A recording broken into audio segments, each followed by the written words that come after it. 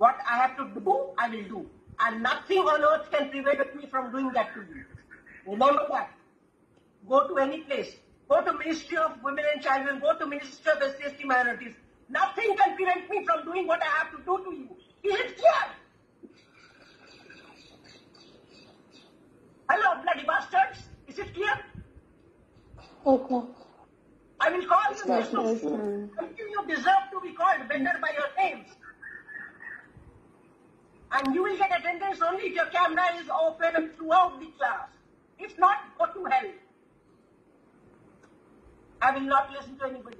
Nobody on this planet can make me change my decision if I make it.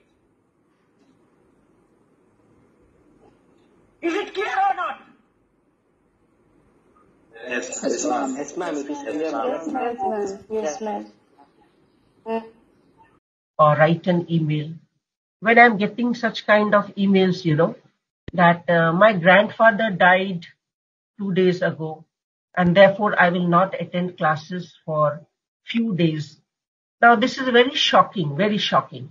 It shows a total non-application of the human mind, isn't it? If somebody's grandfather has died, how does that prevent him or her from attending classes? I do understand. I'm a Hindu. My parents tell me that I'm born a Hindu.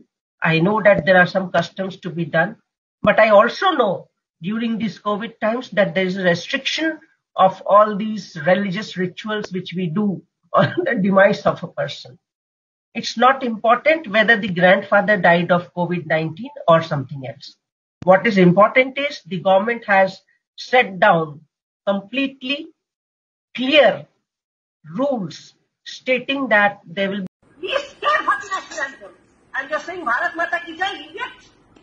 Bloody bastard! Master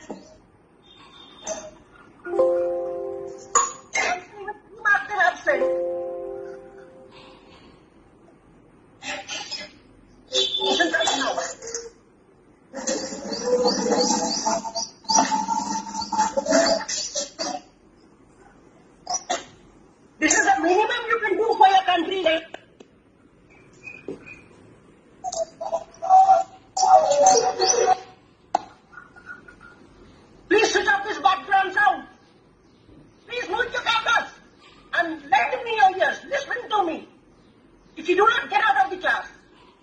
I have 20 marks for you. I will give zero to everybody. All 128. Do you want that? Tell me, do you want that?